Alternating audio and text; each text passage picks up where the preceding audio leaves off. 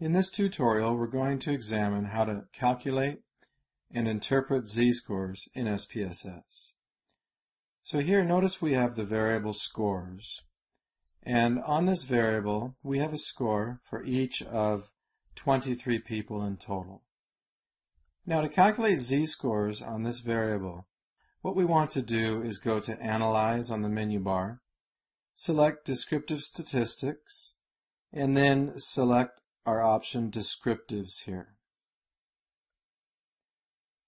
Move the variable scores over to the variable box, and then right here, Save Standardized Values as Variables.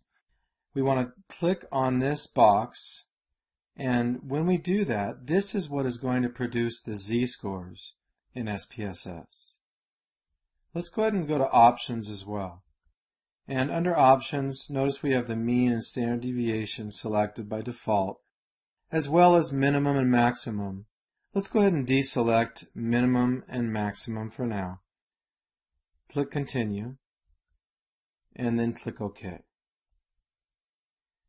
The SPSS output window opens, and here we have just one table of output where we have the mean and standard deviation for the variable scores. Okay, so you may ask yourself, well, what happened? Where are the z-scores? Well, the z-scores are actually provided in the data editor window. So if we click here, we'll go back to our data editor and notice this column now, z-scores. So we have a z-score for each of the original scores. A z-score is calculated and provided in SPSS. If we go to our output here by clicking on Window and select Output, then you'll see here in our output we have a mean if we round to a whole number place. The mean is equal to 47, rounding once again to a whole number. Okay, so a mean of 47. Keep that in mind. Let's go back to our data. Let's take a few of these as an example. Here we have a score of 32. Recall that the mean was 47 when we rounded. 32 is below 47, and notice how our z-score is negative. 39 is also less than 47, and notice how our z-score is once again negative. Moving down here to observation 7, 54, that's greater than our mean of 47, and notice now that our z-score is positive. Taking one more example, 76, that's also greater than the mean of 47, and once again our z-score is positive. This illustrates a property of z-scores, and that is Values that are less than the mean of 47 would produce negative z-scores, whereas values that are greater than the mean of 47 would produce positive z-scores. Okay, that's a basic property of the z-score distribution.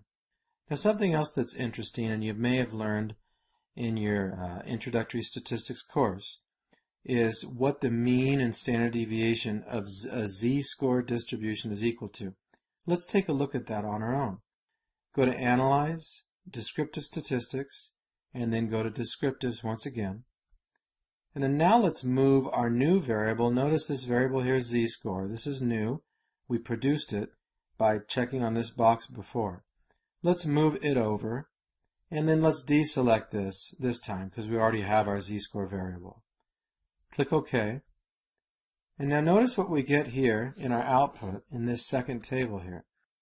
We have the same mean and standard deviation for scores as we did before, which shouldn't be surprising since it's the same variable. But this is where it's interesting. Notice the mean and standard deviation for the z-score variable. Now this here is scientific notation. It says 0 e to the negative 7. And what that means is it's 0.6 zeros and then a number. So 0.000000 and then some number. In other words, it's very, very small. And what that really means is just rounding error. This value is really zero for all intents and purposes. It's just a rounding error. So the mean is equal to zero and the standard deviation is equal to one, which is another property of a z-score distribution.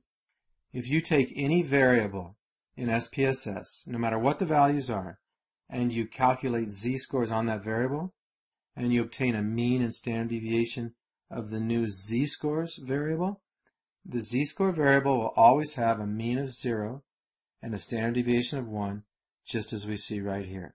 Just keep in mind there may be a little bit of rounding error. This concludes the tutorial on obtaining z-scores in SPSS.